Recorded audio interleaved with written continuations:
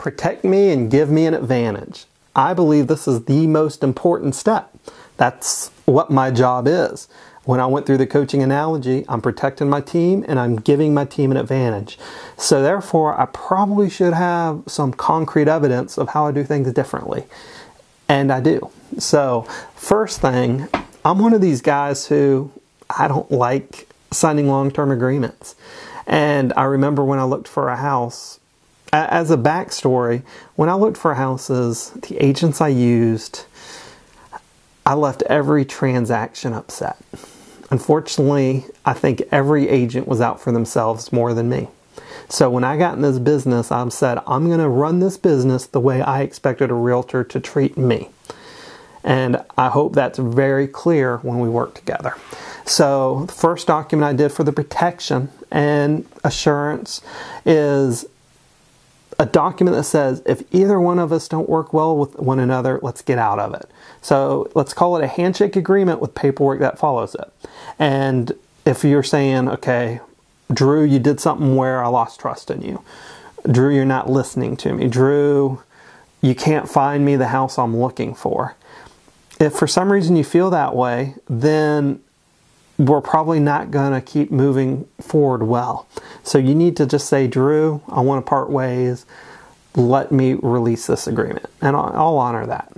And vice versa. If we're looking at a lot of houses and I say, okay, I don't think this one will work, drive by it because every yard you say is too small. This one I can see is 0.15 acres. Please drive by it because I don't think we'll need to even get you inside if you refuse, or if I ask you to get pre qualified and you said, I don't need to, I don't want to, I'll do that later.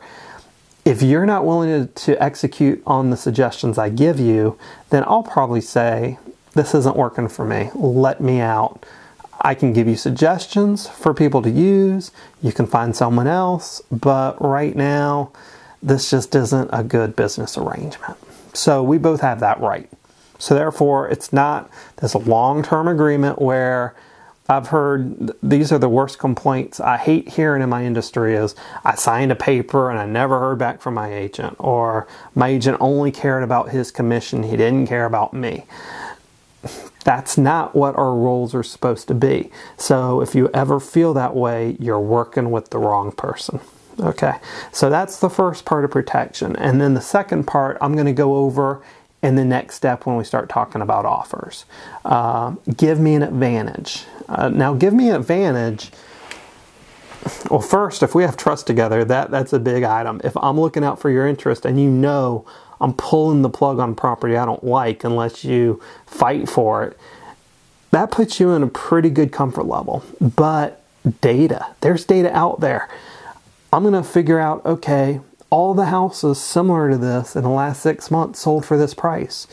Don't go over this price because you're paying too much. I can tell you if the house is listed in this neighborhood, it goes for 96% of list price. So we don't need to pay full price here. Or new construction where they fight for full price offers maybe I have some ideas on how we can still get you a better deal.